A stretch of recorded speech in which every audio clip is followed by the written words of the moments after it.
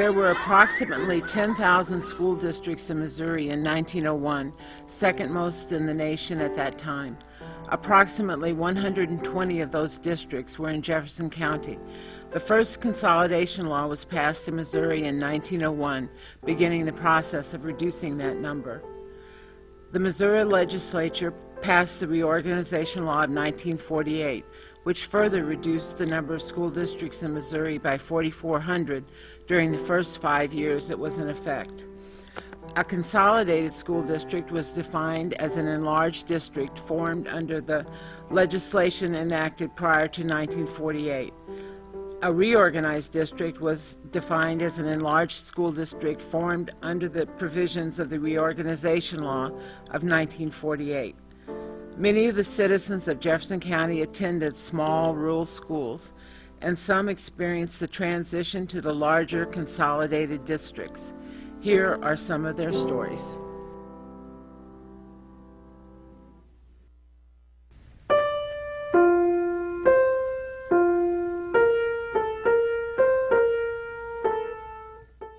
It was a white building, and it was just one room.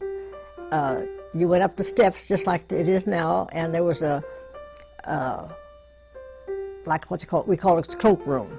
That's where the water thing was, where the water jug was, and uh, the coat rack, and where we put our, our lunches. And the girls was on one side, and the boys was on one side. And then we went in, and the big old stove was there, and right behind the stove was a, a little small uh, closet where they had like extra books, and um, then the windows was all on the the north side, and um, the restrooms, if you want to call it, the outhouse was back there for for the girls and back here for the boys, and right out from the from the the school building was a woodshed, because the the, uh, the had to have wood for the stove. It was just a one room building. It had a stove in the middle of the floor.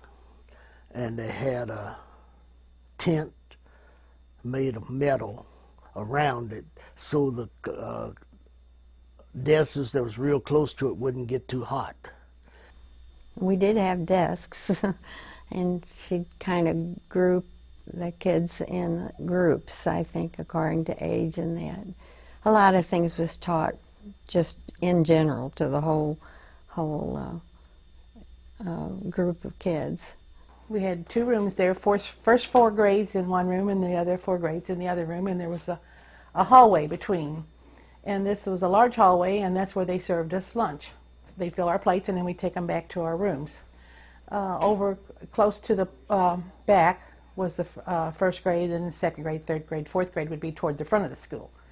So, and we each almost had a row of each of us. So, to get to the old school, you had to park your vehicle or whatever, a horse and buggy, whatever you were in, and uh, walk in, because it wasn't even a wagon trail in there. So if you went in, you had to go in on foot. Well, this school was very old, and the paint was scaling on it, and uh, it just looked like a desolate place, you know, not anything in, to encourage you was education. It had a little vestibule and about three feet wide and maybe, uh, oh, maybe eight feet.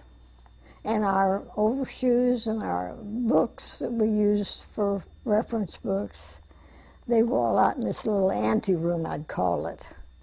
And uh, uh, it was it was all we had, and we had a big stove. They always said it had a jacket around it, and that was to keep us from getting burned or something, you know. And we always had a picture of George Washington on the wall, always. And uh, then usually we had uh, double seated desk, you know, two set in, and uh, that was usually what we, how the inside was furnished, you know. It was all wooden building. At the time when we first started, there wasn't any basement, you know. And after a number of years, they put a basement under it, and then a cafeteria down there where they served dinner, you know, for the children, you know. This was a one-room school. Uh, it was not large. Um, the buildings was the woodshed and the two outhouses, and each one of them were two holers. That, that, and they were very nice, actually, compared to some of the other schools that I had been to.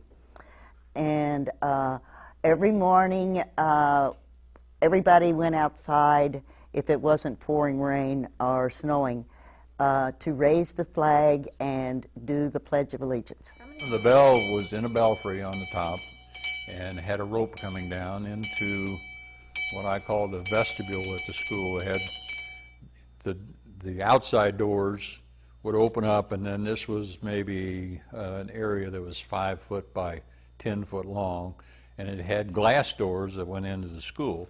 And in the middle of this is where the rope hung down. The library was right behind the furnace, and uh, it stayed real warm in the library, so kids would run back there and look for a book, probably just to get warm.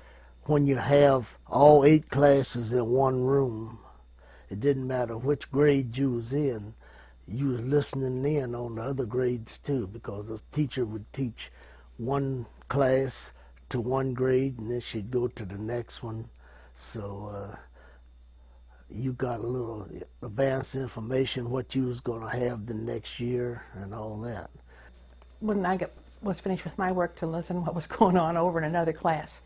So I, that, I enjoyed that part. It kind of kept me occupied. So It was kind of distracting to be getting your lesson and had the teacher up there and the student up there in another grade going through their lesson, you know. It was kind of disruptive. And the older ones kind of helped with the younger ones too, in reading and things like that.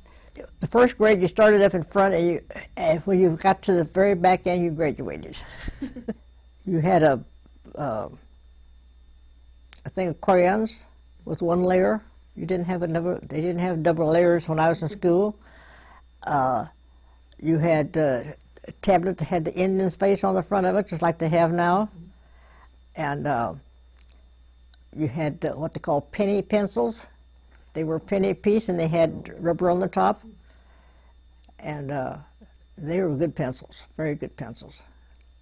And we had a, a pencil sharpener that uh, you didn't, you, you only used it when it wore down to the, to the wood, you know.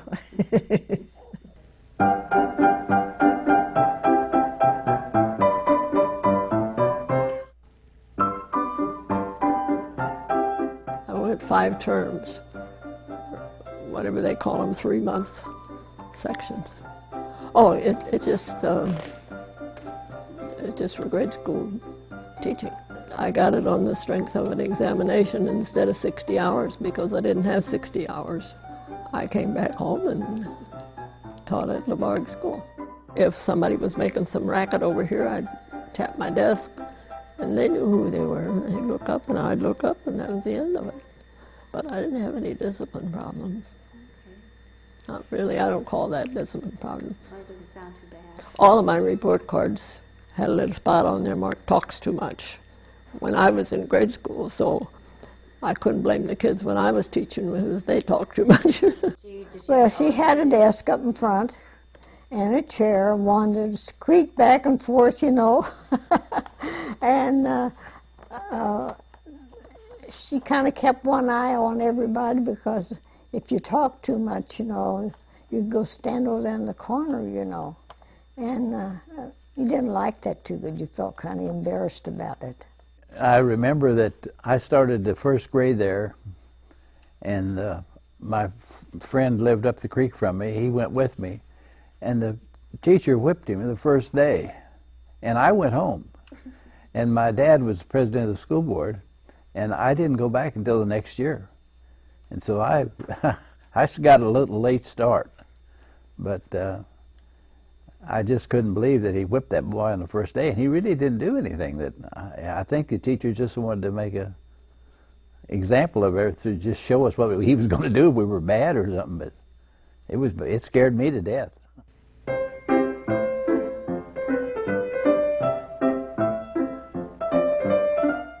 they taught six grades a year, but they taught first through eighth. I don't know if you're familiar with that. Um, you, if if you started on it like an odd year, you had to skip grades down in the lower grades, and uh, they kind of grouped two classes together. You either took classes up or down if you were in the odd year. And it's hard to explain, but they called it skip grades, is what they called it. Well, most of it was uh, arithmetic, spelling, history,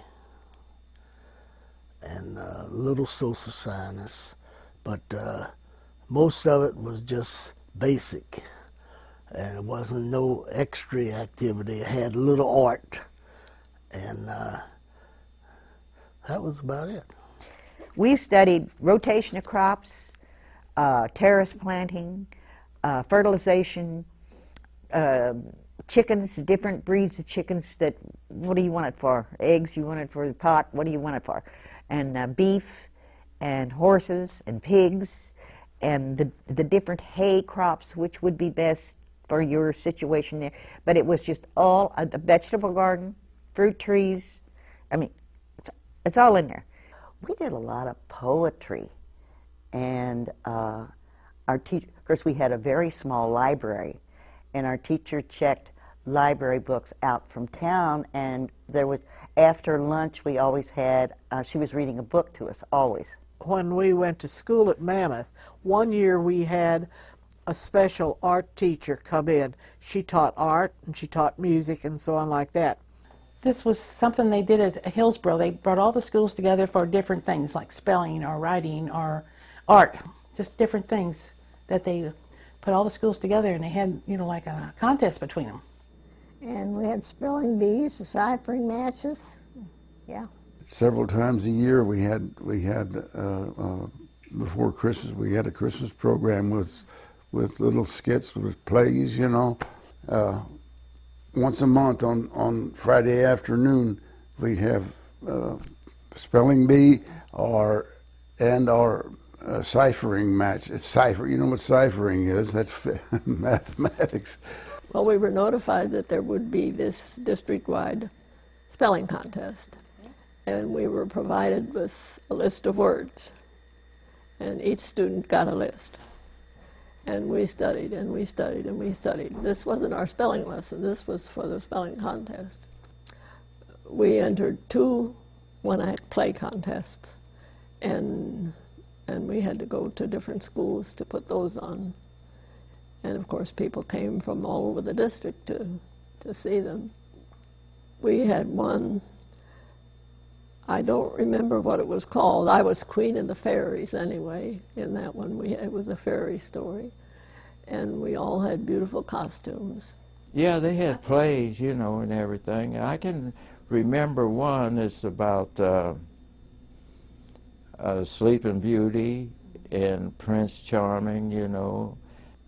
We had co-ed teams, the girls and boys, and we'd go around and play the other little schools around. We go to Mayfield, and I remember that they had a girl. Her name was Hulda, Hulda Bauer, she was the best ball player I ever saw. she they beat us, and she usually was the one that beat us. There was a there was a county baseball tournament, and we would go together with House Springs and and uh, and have about one or two practices instead of uh, or softball, uh, and send the team usually to Herculaneum. They had the better. Uh, base softball field at that time.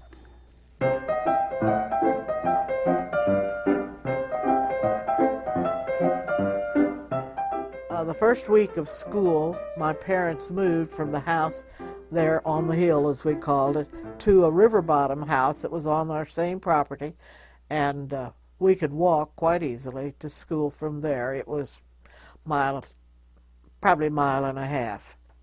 Then if the river was up, we had to walk up over the hill, the bluff, right there by Big River Bridge, which wasn't very fun. Or another way that would put us in the woods longer, I hated that. Daddy had blazed a trail, but I'd get lost every time.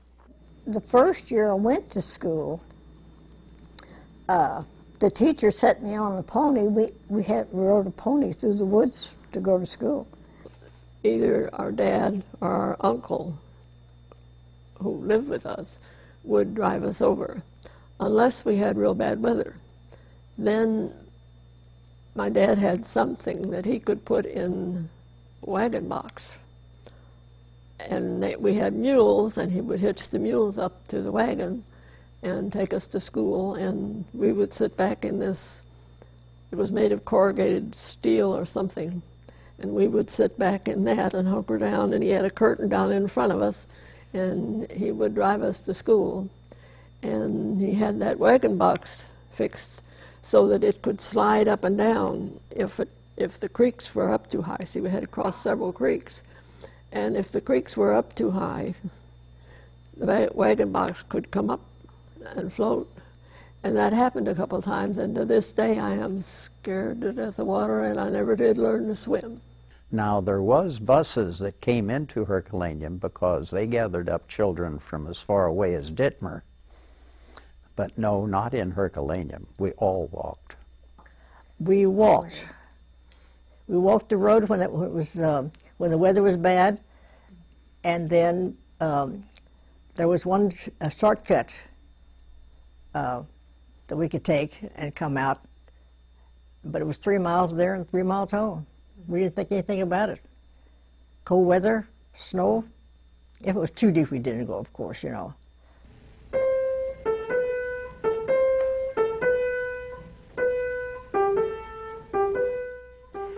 Brought your lunch at the one room school.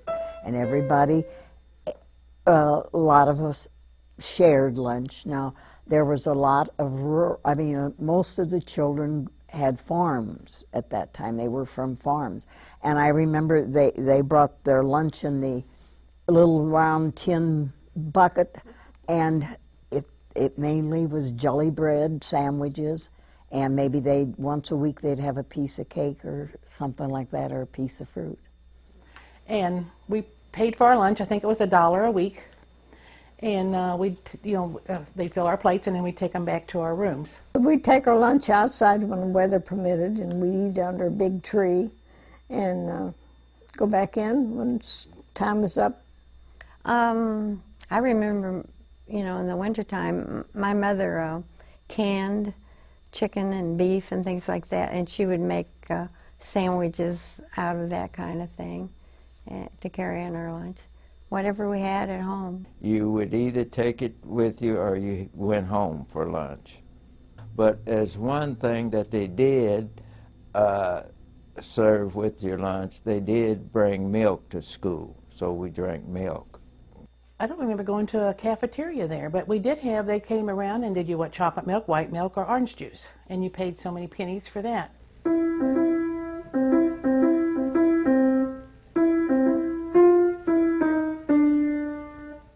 The playground was a good size gravel. It was it was pretty a pretty good sized piece of gravel.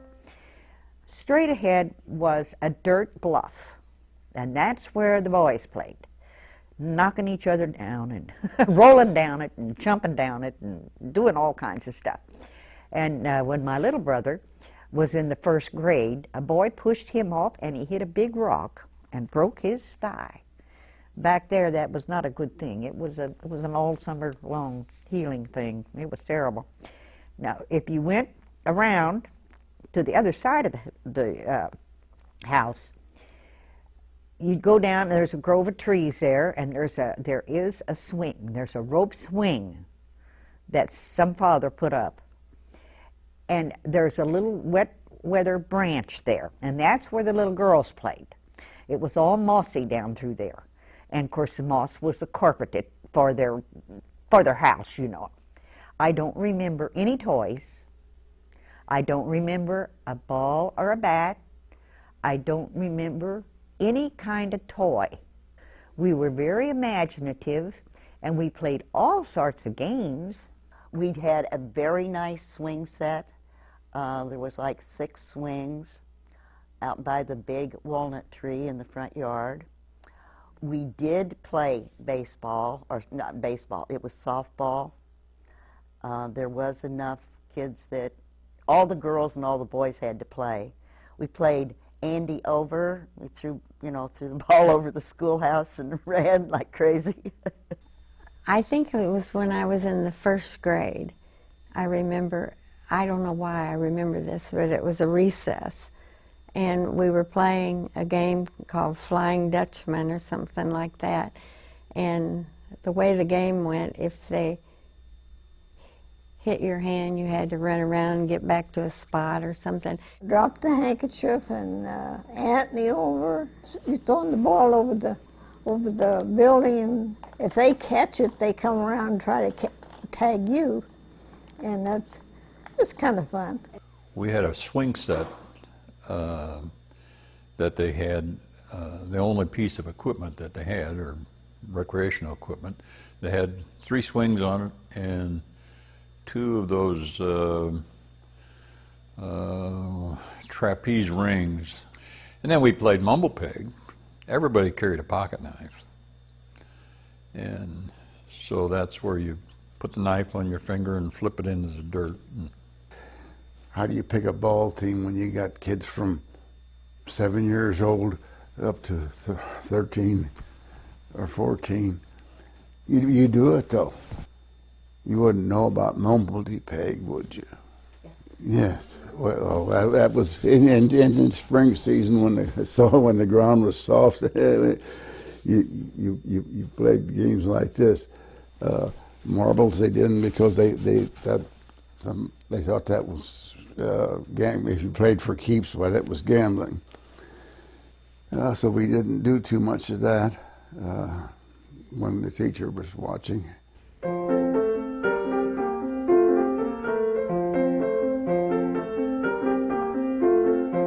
Had family picnics and parents would come and and play softball with the kids in school and I can vaguely remember pie supper and uh, they would auction off pies and I think it was just to make money for the school to buy probably uh, supplies and wood and pay the bills. But I, I, that's the only thing I can remember them having in the schools they'd have that at night, and they it was a kind of a fun thing, and you'd bake a pie and take it, and then they'd auction them, and whoever bought it, you eat your pie with.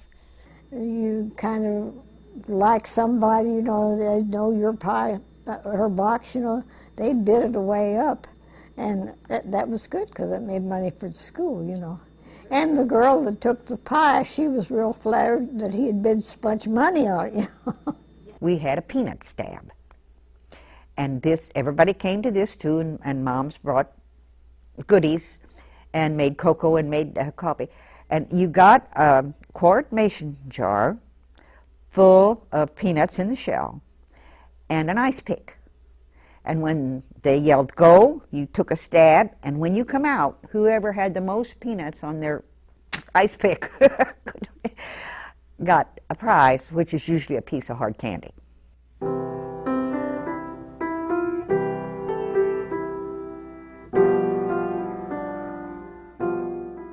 Before Douglas come there, they built in 1912, there was no school for the blacks.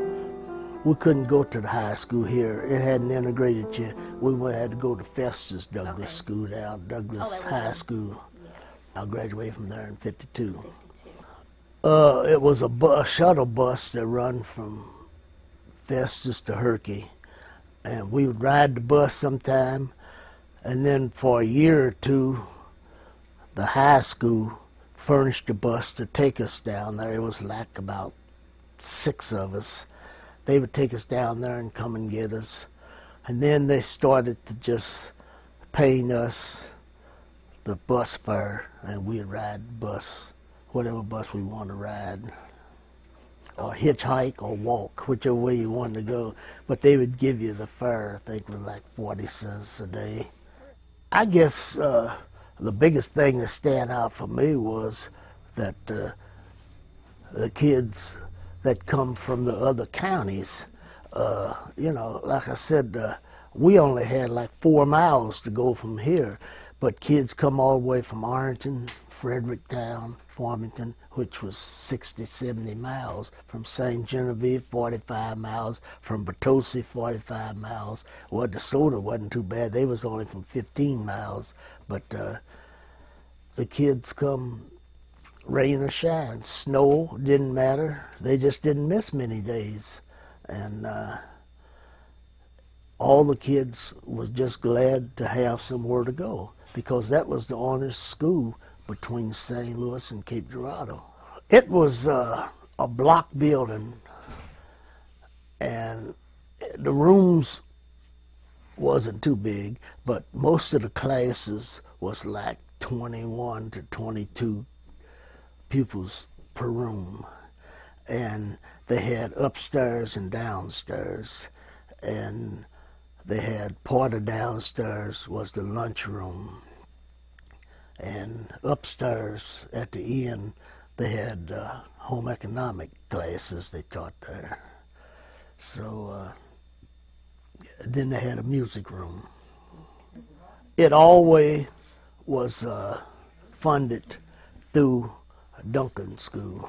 We was just associate of Duncan of Duncan School, so uh, all the taxes the teacher's salary, the janitor's salary, and all was paid by Duncan School because it was all in their budget.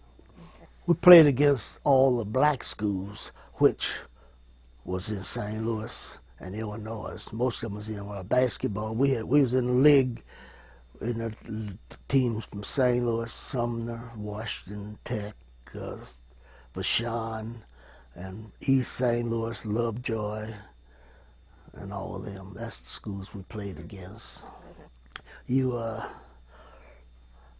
always was taught by the grown-ups in the community to learn as much as you could.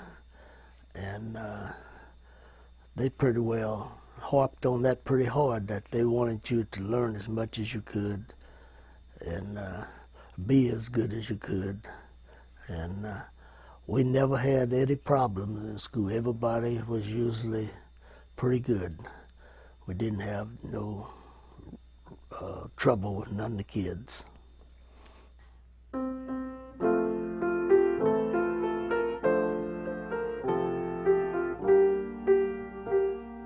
I came to Douglas in uh, the fall of 1952 and um, taught um, English and typewriting. And but my first year, 52, 53, uh, I was just at Douglas. And then there was some discussion about the possibility of um, school integration. And Mr. Tynes, who was the superintendent uh, over at um, the, the Festus schools, well, all of our schools actually, uh, was farsighted enough to, to see this coming. And so he started to prepare for it way back when. So the year of 53, 54, I taught one class. I was still at Douglas School doing my duties there, but I taught one class over at Festus High School and he had uh, approached me saying that um, they had a number of students who wanted to take typing, and there were not enough opportunities, not enough classes, uh, teachers involved. So he would come and pick me up every day. I had a class, I taught a class over there from 11 to 12 every day. And I didn't have a car. This was in my young years and so on. But anyway, he would pick me up and take me over there. And uh, the children were very responsive. Children are different now from what they used to be, but they were very responsive. Uh, the teachers were very kind to me. Um, Mr. Tynes would bring me back uh, over to Douglas for my afternoon classes. Uh, sometimes the driver's training teacher would bring me back. Mr. Tynes was the superintendent, and he had had a discussion with everybody. Uh, his daughter has told me later that um, he, had told them, uh, the, the whole student body, that this was happening, and he said, and it's going to work. We're going to see to that that it's going to work. And the mere fact that he brought me meant something. You know, it was not like here I am. But uh, anyway, that had a lot to do with it. But uh, the, the children themselves were, um, were kind. So not only did the faculty, but the students had a chance to see what it might be like, you know, if we were at some point uh, involved with each other. So that worked out very well. So that was uh, that one year. Then uh, the year of um, 54, 55, I went to the high school full time, to Festus. to Festus High School. And um, that was the beginning. Well, actually, that was the beginning of, of integration in the um, Jefferson County Public Schools.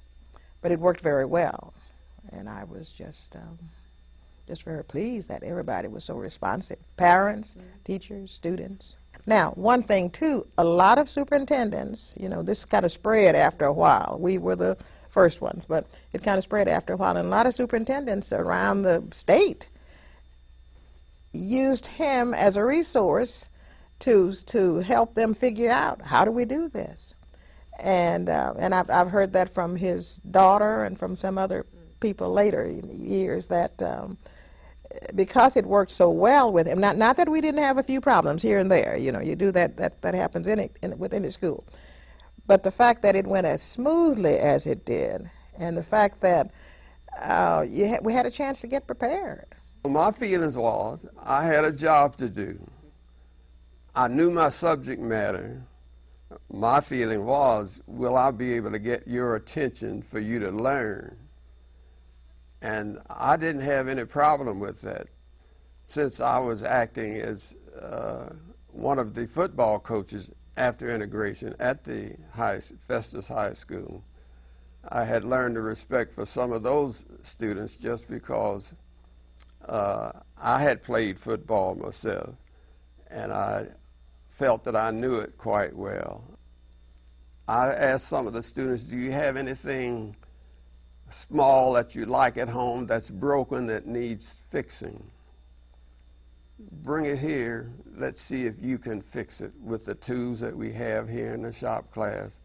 Maybe we can fix it or repaint it or get it fixed up again. But winning the students over like that, I'm here to help you do things better or get things done in the manual training section and also in physical education. I'm here to help you get uh, the best you can, uh, do the best you can in some of these different sports that you want to participate in. I, let them know that's my job. And I think I know right now, I tell them a little more about it than you do. So trust me.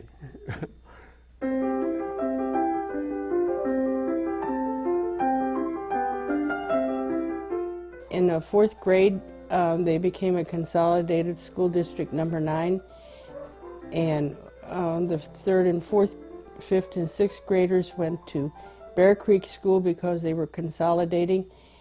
The first and second and seventh and eighth from Bear Creek came to House Springs. And that's when we got to move into a new school with inside restrooms and um, all the nice facilities of a, a new school. And this was consolidated uh, Bear Creek and House Springs. And I want to say before this, um, at that same time, there was a Heads Creek school that a few came from there and a few from several other little uh, schools in the surrounding areas. By fifth grade, fourth grade, fifth grade, we were reorganized school district number one. Or I guess it would be Jefferson County reorganized school district number one. I get, we were the first one in Jefferson County to reorganize. They had a contest and said that the freshman students were to try and name the high school. And so I submitted the name Northwest because it was in a northwest part of Jefferson County. A couple of weeks later, then they surprised me with a, a sweater. It got more recognition 25 years later, or, or uh, yeah, about 25 years later when my kids were in high school, and then they wanted to know who named the high school, you know, and then, and got recognition in the newspaper and that stuff. The first and second grade were in that building along with uh, the uh, the high school. We first met in the basement. Three classrooms we had in the basement of the elementary school. That was all there was. They had six rooms upstairs, and uh, I forget. I think it's the first, second, third, fourth grade met in the building upstairs. Well, then the second year they still didn't have a building for us as a high school, and then we had juniors and freshmen, you know. And so then we took over three more classrooms upstairs, and so then they were busing more students out to Cedar Hill. And by that time, they already had um, a building, uh, which was a shop building for the high school, and students were going there then for that year. And uh, then, first, their junior year is when we had a high school building. In 1948, the district consolidated the five small schools in the Arnold area. And the people voted to go ahead with that because they could provide a larger school with more, um, I should say, educational facilities than each school having their own. And it was a cost factor with each school. And as the schools got larger, they have to go someplace. And with the growth in northern Jefferson County, there had to be something to handle that. So they voted in 1948 to build and consolidate the district. It was assigned Consolidated District Number Six. There were five schools in the Fox District which merged in 1950 to form the C6 District. Fox did not have a high school at the time. They were all going to Herculaneum High School. Herculaneum couldn't handle all of them, so Fox had to start a high school. My dad was the president of the school board of La Barque, and he was adamant about his kids getting a good education. and he really pushed Eureka to take us in. And um, there was a lot of, I didn't realize it at the time, but uh, just to take time out of your day to take kids to school and come back and and those were days when you had to work for long hours to make anything on the farm. My dad was a farmer. And so this was time out of his productive day. And uh, he did it for our education. We were crowded, but they took it in stride, and I think we had a good time. We educated a lot of our boys and girls. And one of the things I was very proud of is not only did we go, do good in science and sports, but one year we had six boys from Fox High School at West Point the only school in the nation to have that. Junior high, when I was principal, we had no gymnasium because the senior high had the gymnasium. We only could go outside on warm days and have a gym class. We did start a basketball program for the seventh and eighth grade boys and girls. We had no gym court. We played on the blacktop with one basketball goal. And it was unusual for our boys and girls to go play another school who had two backboards in the same building. Well, we only had one. But we had good coaching and good kids, and we won the county championship for seventh and eighth grade junior high basketball. So you can do a lot without having everything you need.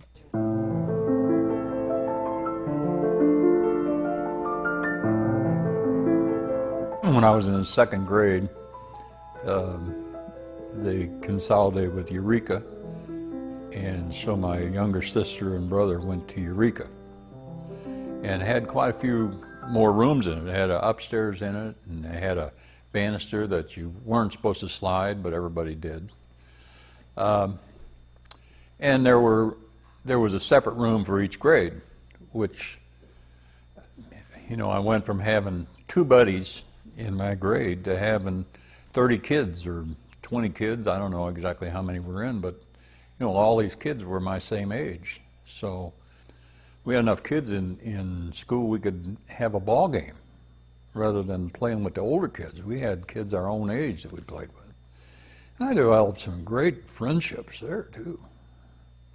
From a, a social standpoint of intermingling with other kids, it was a benefit to go to the bigger school. Um, but I don't know if you get too many kids, then it it would lose its its advantage because then you're lost in the crowd. Just the fact that there was a gym and and uh, bigger playgrounds and and more activities and a lot more kids, a lot more friends, because uh, they came, you know, from all over the area. I rode a school bus that picked me up. It, the bus started at Cedar Hill, and it picked me up, and I rode the bus 30 miles one way. And there was many a time some of the children would walk that far to the creek, and the creek was out of its banks, or so swift they couldn't cross it to come to school, and they'd have to turn around and go back. Got on the school bus at 6 o'clock in the morning and got home basically at the same time at night. We had a lot of fun on the, fun on the school bus. One time we had a pillow fight with feather pillows. My uh, sophomore year, the man came in my life that I still love. Uh, he come out, my parents lived at the end of the route. And of course, he needs some place to stay. So he stayed with my mother and daddy, and everybody said to me, well, how do you like the bus driver? I said, oh, I guess he's all right. And for too long, I decided he really was all right. So he drove the bus the rest of that year, and he was one of the first ones to be called from Jefferson County for the selective service. And uh, so he finished out the, the school year with the hauling the kids. And uh, he gave me a ring. It was in February, I believe, that year, before he left to, to go training. And uh, everything just happened from there. well, I, I really liked it because I was always really into sports, and we just had a lot more sports at Grandview. We had more things to do. They played, they had basketball and and everything there. It was just, I enjoyed it. Well, I just was so glad that the the people voted build the to consolidate and build a school. That it really helped everybody. I think, as you had a better school, more more teachers, and more more classes and everything, and uh, more sports and everything else. I think everybody was, and seemed like to me, I, I can't remember hardly anybody that was against it. I mean, it, vote, it when they voted for it, it passed easily.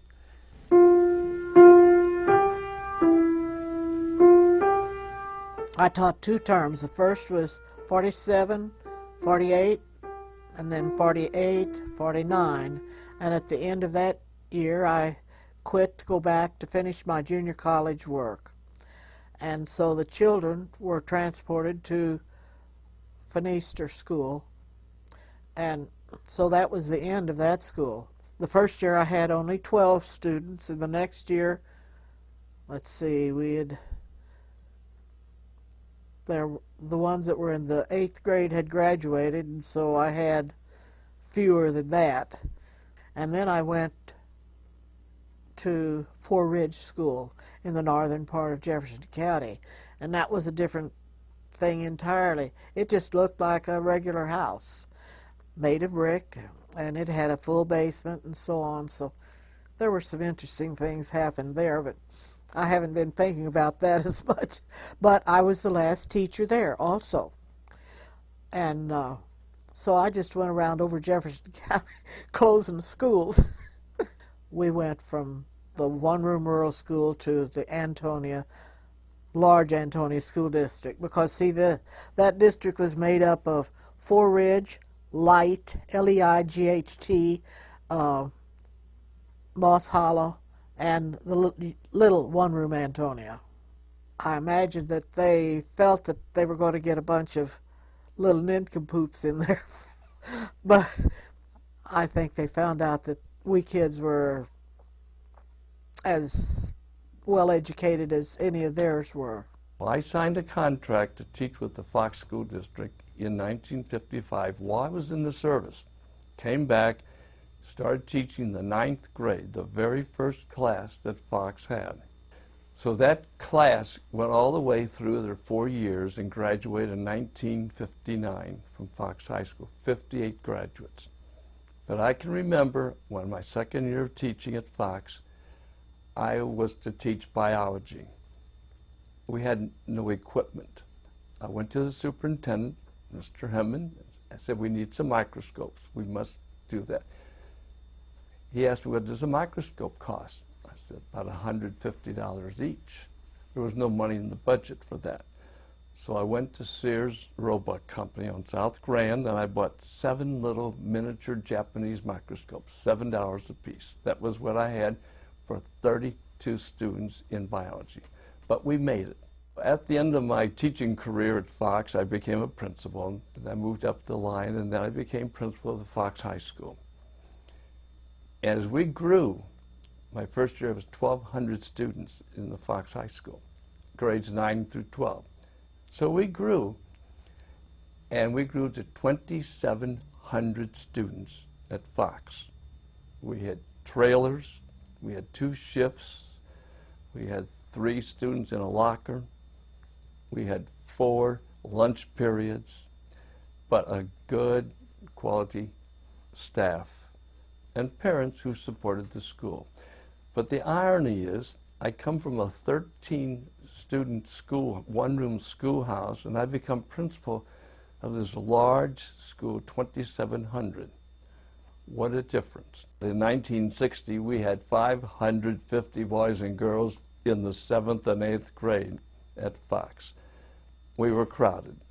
We used to have our lunchroom in the gymnasium at Fox Junior High, middle school now. That gymnasium would have lunch in the middle of the day for our junior high and also our senior high. Well, as the schools get larger, the students don't get as much, many opportunities to take part in some activities. Uh, when you're in a small school, everybody is part of it. You might be a cheerleader and be on the football team at the same time. Who knows? And as I went to a big high school in the city of St. Louis, uh, there was just a varsity basketball team and a B team. And you had to be very good to be on those teams because we had 25, 2,600 students in the school. And that's the disadvantage you have. The, the advantage of a small school, the parents know everyone in that building. They take part. They might take the boys and girls on field trips. They're part of the, the school. They know the community. The disadvantage is they don't have all the other activities that you would like to have. For large scale teaching, I guess the city system is the best, but I sure would not exchange my time in a one room rural school for it for anything. The Department of Education had several outcomes that they believed would be the result of school consolidation and reorganization in Missouri. Some of the results they sought were better educational achievement by students, a broader curriculum, special services, an increase in instruction time, overall per capita cost reduction, a longer school term, improved attendance, and better school buildings and equipment. Few people would disagree with these legislative outcomes. However, it was the parents, the teachers, and the students who truly made school consolidation work in Jefferson County.